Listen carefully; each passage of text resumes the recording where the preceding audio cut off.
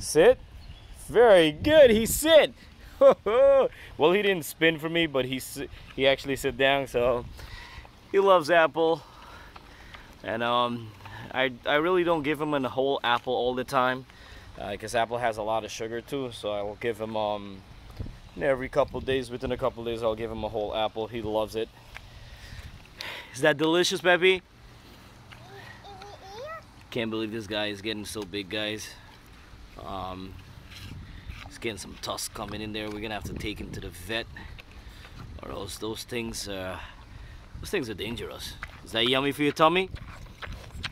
Oink, oink. All right, he's up close and personal to this camera right now.